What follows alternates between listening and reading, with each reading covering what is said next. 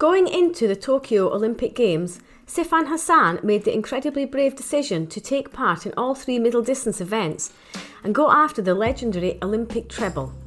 To do this, Sifan Hassan would have to win the 5,000, 10,000, and 1500 metre events, meaning she would have to take part in six races in the space of just nine days.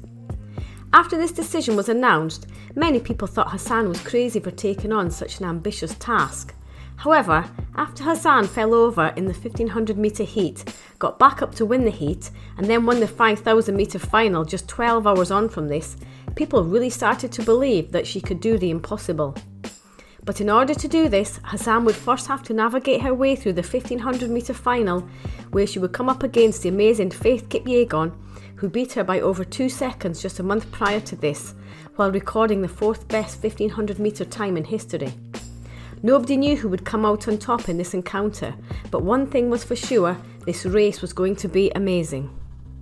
in an effort to try and run the finishing kick out of Faith Kipyegon, while being followed closely behind by Kipyegon and Laura Muir, who instantly realised the danger of letting Hassan get a gap early on. This resulted in a 400 metre split of 62.84 seconds, and to the surprise of nobody, Hassan didn't let up in the slightest as she continued to hold this very fast pace, putting pressure on the rest of the field and causing the race to get quite strung out. We have seen Hassan exhibit her incredible strength time and time again by being able to go out at a very fast pace and hold it for a considerable number of laps.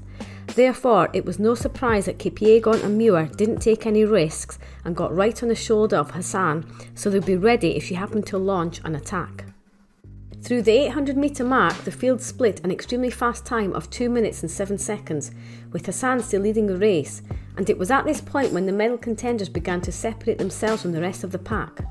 as well as both Laura Muir and DeBues-Stafford running their socks off in an effort to stay with the lead too. But as Kipyegon began to move onto Hassan's shoulder, ready to pounce at any moment, you could sense that an intense battle to the finish line was going to commence at any moment. But there was simply no catching Kipyegon from here, as she continued to open up a gap between her and the rest of the field, charging to the finish line in first place in a new Olympic record time of 353.11. And not far behind, Laura Muir continued to move away from Hassan, giving it her all to reach the finish, which resulted in a very well deserved silver medal and a national record time of 354.50. And coming in third, Hassan did extremely well to walk away with the bronze medal and a very fast time of 355.86, which should not be underestimated.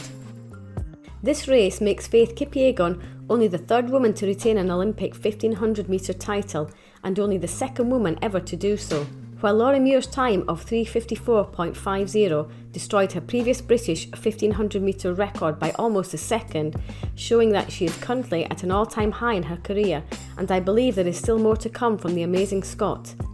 And even though Sifan Hassan didn't come away with the gold medal on this occasion, she bounced back the following day to outkick the world record holder Gidey to win the 10,000 metre race and cap off a legendary Olympic campaign which will go down in history. Well anyway, thank you for watching this video, I hope you enjoyed it. If you did, it would be great if you could like the video and subscribe to the channel.